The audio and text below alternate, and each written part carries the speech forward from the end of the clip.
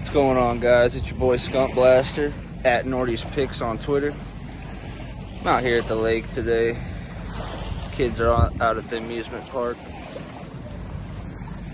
Got a big game for you today, man. Yankees, Blue Jays.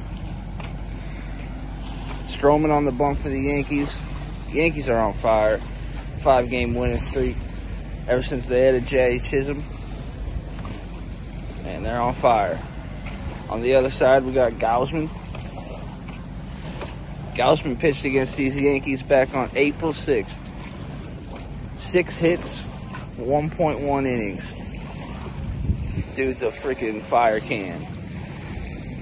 So today, we're going to go same game parlay.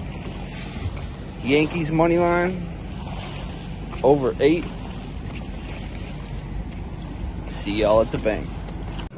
Thank you.